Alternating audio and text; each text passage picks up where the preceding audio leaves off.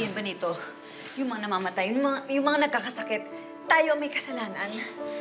It was a mistake, Patricia. At ginawa ko lang yun para maisalba natin ang negosyo. Ang pamilya natin.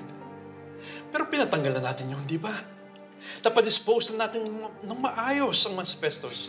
Papanong 2007 pa. Kaya hindi rin nila pwedeng sabihin na tayo ang may kasalanan sa pagkakasakit ng mga tao. There could be other reasons. Excuse me, Attorney Ramirez. May naghahanap po sa inyo. Sino?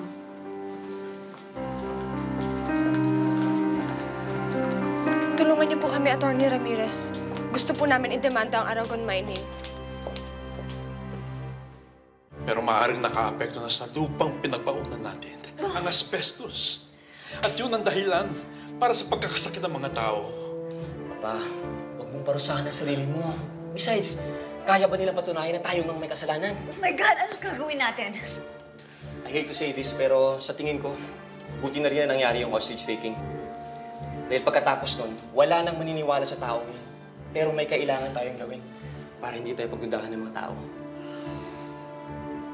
Kailangan malaman ni Jaime to. Hindi pwede. Sige, Antonio, ang bala. De La Cruz, sumama ka sa akin. Saan ho tayo pupunta, sir? Hall. Para sa request mo.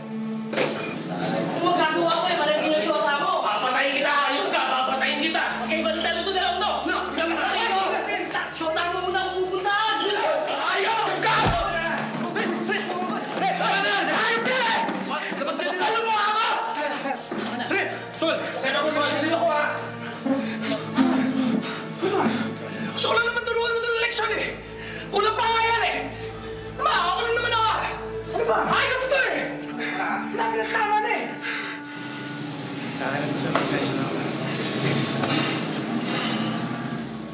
Bakit hindi pwede sabihin kay Jaime, Dad? He is the president of the company. Hindi tayo siguradong papayag si Jaime na itago ang sikretong ito. But of course he will. Kilala natin si Jaime. Gagawin niya ang tama. Papanigan niya ang mga biktima. I can't risk that. Tama si Papa Patricia.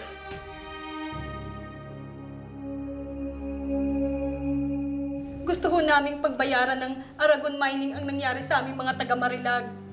Marami ho sa amin ang nagkandabaon-baon sa pagkakautang dahil sa pagkakasakit. Wala na hong makain ang aming mga pamilya. Dapat lang napanagutan nila ang mga bayarin sa ospital. Nang dahil sa kanila, nawala kami ng pantusto sa aming mga pamilya. Pero papa, Hindi ko ayaang masira ang kumpanya natin dahil sa isang maling desisyon noon. Itatago mo ang sikretong ito sa asawa mo, Patricia. Para sa pamilya natin. Pasensya na kayo. Sa ibang abogado na lang kayo pumunta. Pero alam ho namin magaling kayo. Kayo po yung kailangan namin. Nasubaybayan ho namin, attorney, ang ginawa ninyong pagtulong doon sa mga trabahador na pinatalsik sa factory. At dun sa batang ni-rape ng congressman. Tol. Fred. Uwi ka na. Hindi na magsasampa ng kaso si Kadjo. Sige na. Ano ginagawa mo dito?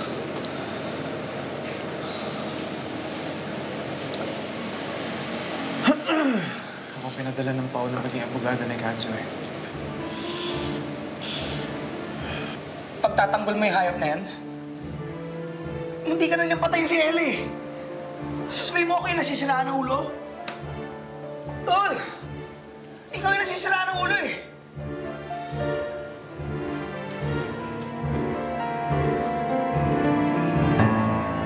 Sorry, marami kaming inaasikasong kaso ngayon at hindi namin matututukan ang kaso ninyo. Excuse me. Akala ko ba makamahirap yun? Excuse me po. Pasensya na po kayo. Gagamitin na po ang conference room for our client meeting. Kausapin ko na lang ito. Kliyente ko. Attorney, salamat. Dinepensa niyo ako dun sa kasama niyo kanina. Alam mong girlfriend ko yung binaril mo.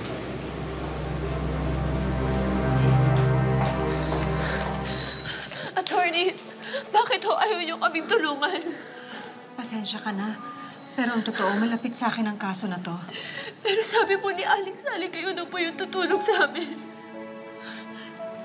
Tutulungan kita maghanap ng ibang abogado. Attorney, hindi ko na po alam kung ano gagawin ko.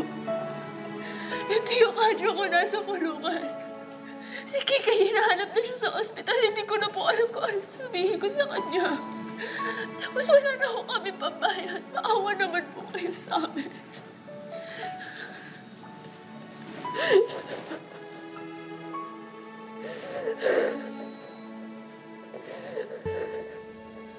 Nagawa ko lang naman ang huyong para sa anak ko. Torne, tinanggap ko kahit masakit ang pagkamatay ng asawa ko. Pero paano ko tatanggapin kung pati ang anak ko si Kikay kukunin sa akin? Anak ko, mauna sa akin. Paano naging tama yun, Atty? Sigurado bang okay ka na? Opo. Salamat po sa paghatid sa akin, attorney. Magaling na abogado si Attorney Serrano. Matutulungan niya kayo.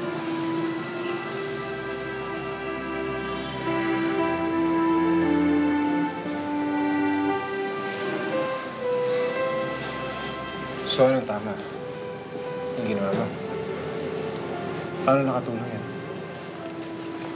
Tignan mo ako, nasan ka? Nasaan ka ngayon, Kadyo?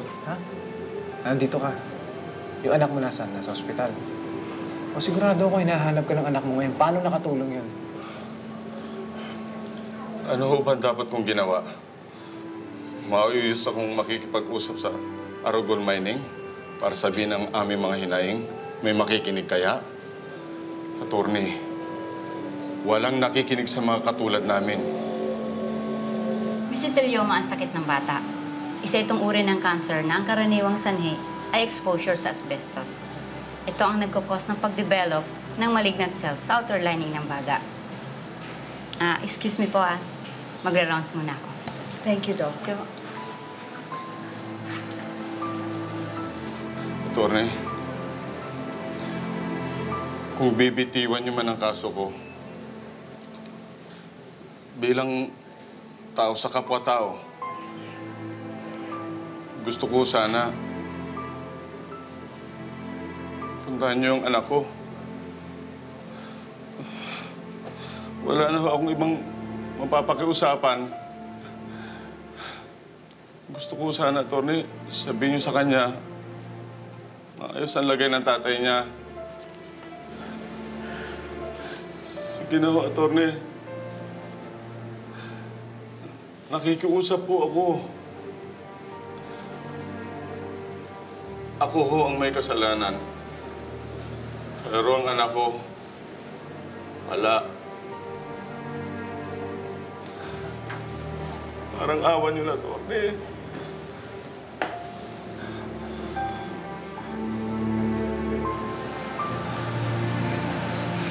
May bisita ka. Siya si Attorney Tessa Ramirez. Kaibigan natin siya, Melissa. Melissa?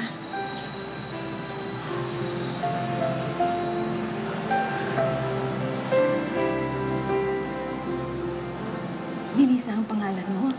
Opo, Melissa po yung totoo kong pangalan. Ba't mukha po kayong malungkot? Gusto niyo po kantahan ko kayo? Thank you.